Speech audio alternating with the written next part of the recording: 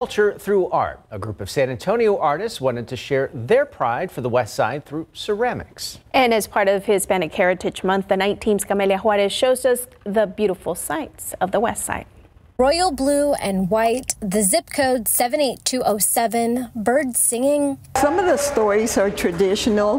For instance, if they have uh, uh, the parties, like Silva Tamaladas and things like that. Ana Uviedo is looking at the latest art exhibit called Árboles de la Vida de la West Side at the Esperanza Peace and Justice Center. So the traditional Tree of Life would have a married couple and the future children and, and, and, and the grandparents. And this is a takeoff on that. So this is telling the stories of the West Side. Uviedo is one of the West Side artists. This year, she built a tree with hens and roosters. There's a lot of chickens in the West Side. The way you drive around, they like to gather them, and I used to like to feed them. The, and the way my mom fed them, that's the way we used to do. Another one of her trees celebrates the shotgun style houses, a kind of home found in the West Side neighborhoods. They're just so tiny, but I think they're just real cute.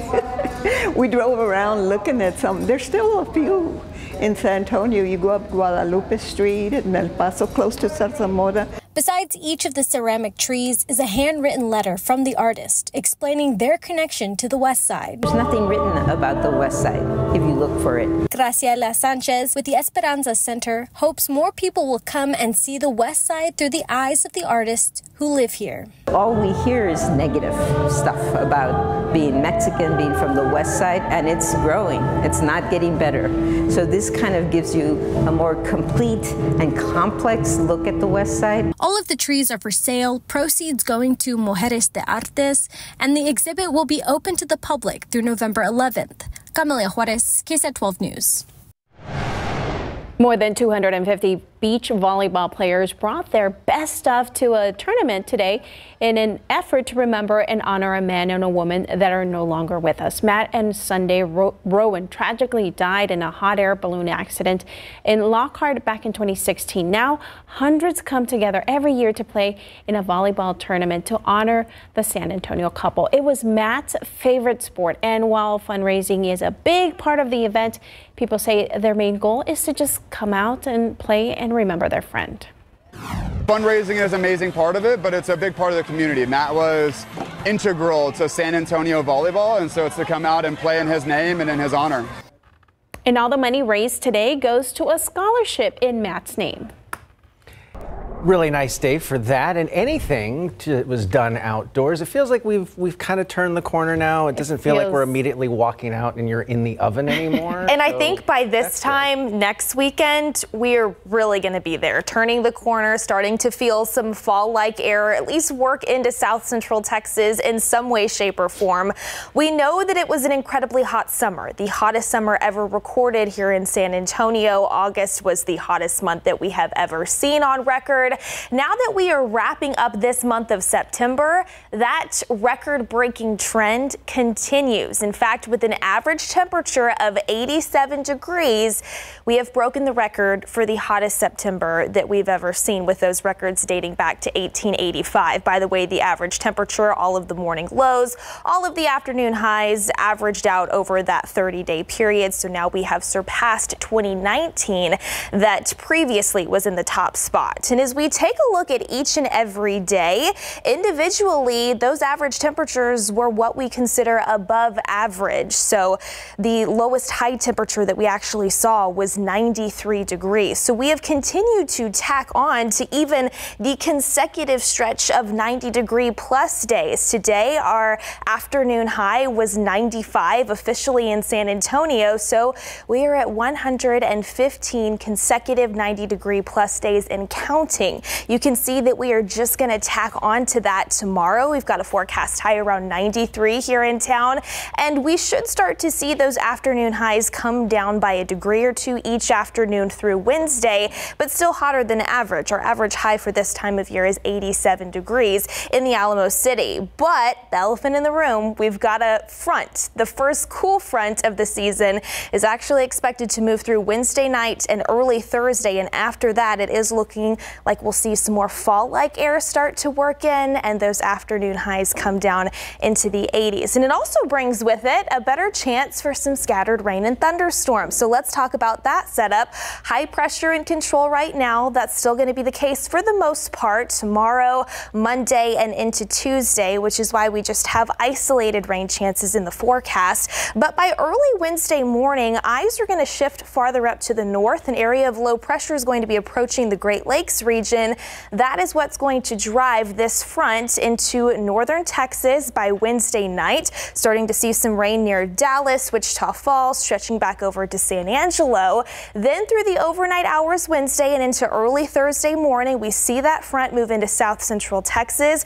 We've got about a 60% potential for some scattered rain and thunderstorms back in the forecast, lingering throughout the day on Thursday as that starts to work its way farther off to the south. And then we see those north winds kick in and drier air works in as well. So again, just isolated tomorrow, Monday, and Tuesday. Not everybody's going to see it, but a good idea to keep the rain gear in the car should you briefly tap into a quick shower. And then after that, we'll start to see those rain chances increase by Wednesday night. So until then, KSAT 12 hour forecast for your Sunday 73 tomorrow at 7 a.m., 86 by lunchtime, and a high temperature pointed around 93 in the afternoon. Coverage is expected to be limited just about 20 to 30 percent over the next 72 hours. And then we start to see those welcome changes move in. Definitely something to check back in on in the coming days as we really start to fine tune that timing. But I think everybody is excited for at least some relief when it comes to rain chances and those temperatures, guys. Yeah, looking forward to that Wednesday, Thursday chance right there. Yes. Thanks, Not quite sweater weather, but getting close. Yes, in the right direction. Absolutely. All right, Texas football, high school football, too big to fit into one night. We've got leftovers. We have so much to bring you, and specifically, a few of the area's top ranked teams hit the gridiron for some key high school football matchups featured in big game coverage. And the number three Texas Longhorns come out victorious in a battle of undefeated teams.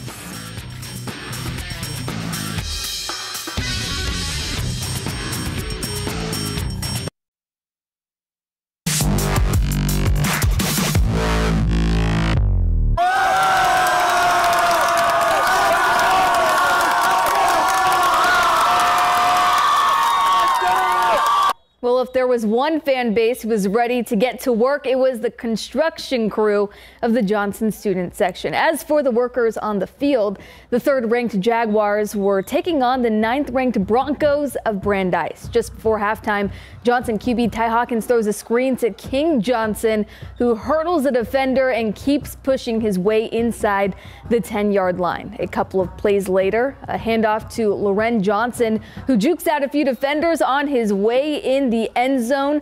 Johnson goes on to win this one 46 to 20.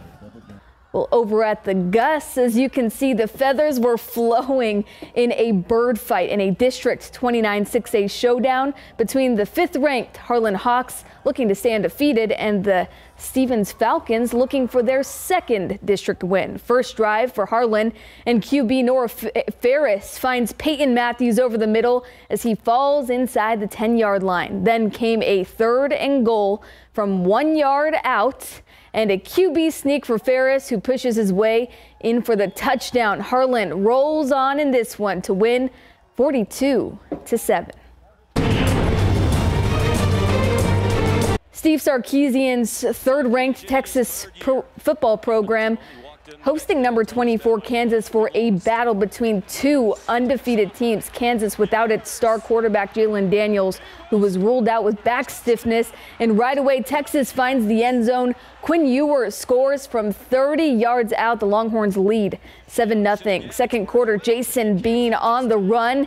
He gets hit hard, and the ball pops loose but teammate Daniel Hishaw has his back and takes it to the house to put Kansas on the board. This man right here, Jonathan Brooks, was unstoppable for the Longhorns. Brooks, the team's home run hitter, rushed for 217 yards and two TDs, including that one as Texas wins 40 to 14, improving to 5 and 0. I'm very, very pleased at the maturity of our team because I think that's what you have to do as you grow throughout the season. You have to show maturity um, and you have to continue to improve. You know, championship teams get better during the season, and I think that that's something that we've been able to do here through five weeks. Weigman is out for the season, so Texas A&M looks to its veteran southpaw Max Johnson to lead the way against Arkansas in the confines of AT&T Stadium. Johnson throws an early touchdown to Evan Stewart to give the Aggies the lead. The A&M defense put forth another outstanding performance like they have all season. Seven sacks the unit finished with, along with 15 tackles for loss. But it didn't stop there. Chris Russell intercepts the tipped pass and takes it to the end zone for the pick six. And the Aggies go on to win 34 to 22. Johnson threw for 210 yards and two touchdowns. He also had three turnovers in the second half. Pure chaos transpired between Baylor and Central Florida this afternoon. The Bears erased a 35 to 7 third quarter deficit. I repeat, 35 to 7 to come back and defeat UCF 36 to 35 in the Knights' Big 12 debut. There's the go-ahead field goal that would later mark the largest 28-point comeback in BU history. Regardless of how it happened, though, it was a much-needed win for the Bears as they improve to two and three. And coming up later in the night beat, Texas State had a field day at Southern Miss. We'll show you the best highlights to come out of the Bobcats' big win. More football. More football. We'll stand by for that. Thank you, Mary. Still ahead, changing the grade. A month ago, a Barbacoa restaurant failed its health inspection. Find out why the script was flipped pretty quickly behind the kitchen door.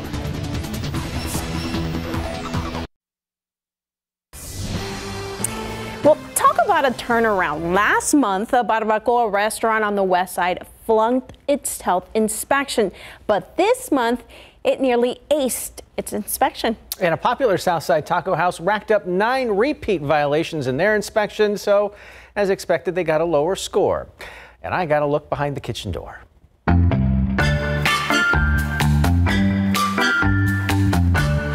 Barbacoa, located in the 1700 block of Pinn Road, failed its health inspection on August 12th, earning a score of 69. But just a few weeks later, they reversed that score to a 96 on a follow up inspection. Here's how they got the low score. Raw barbacoa was sitting in still water at incorrect temps. Produce items were moldy. A worker was prepping raw meat, then touched a scale and other surfaces without hand washing. Another worker wasn't wearing a hairnet or hat.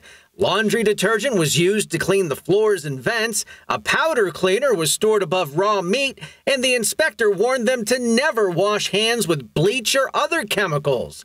There were ants in the kitchen and pest activity was evident throughout the establishment. Food items were being stored in t shirt bags, and they were caught still using those bags on the follow up inspection. Oscar's Taco House, located at 705 Barrett Place, earned a 75 on their recent inspection that included nine repeat violations. Foods cooked the day before were not cooled properly, while other foods were not being held at proper cold temps.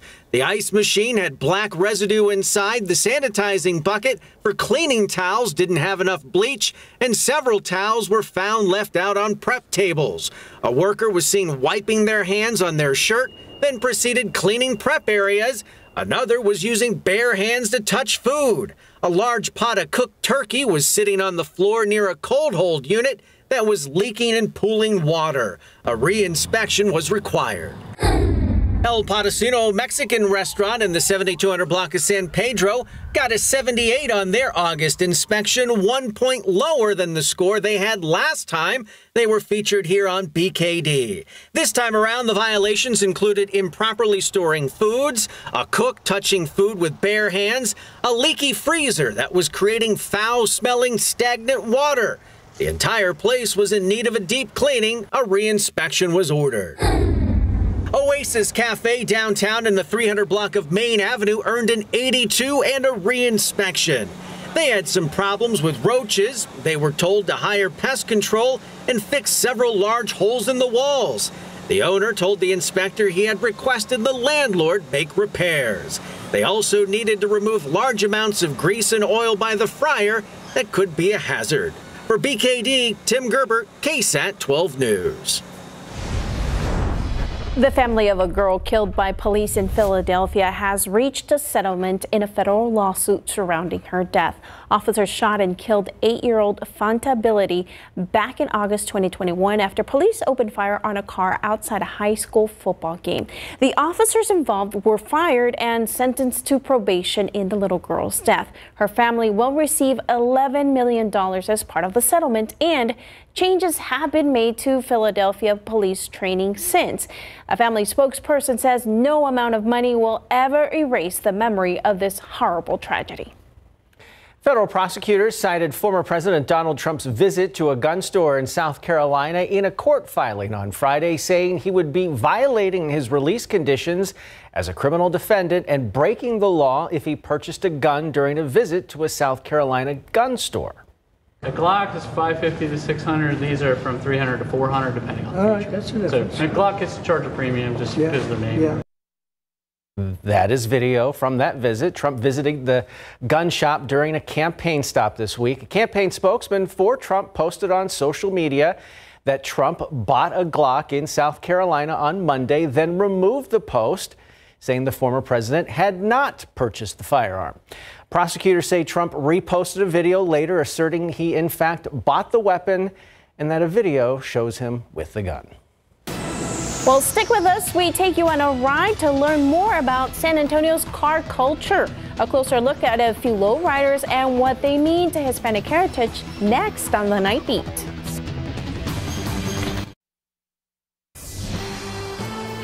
For Hispanic Heritage Month, the San Antonio Airport has a new display to celebrate the Alamo City's car culture.